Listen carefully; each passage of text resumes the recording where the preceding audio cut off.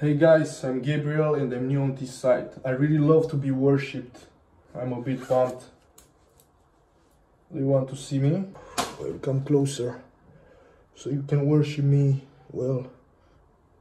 This is your fantasy, huh?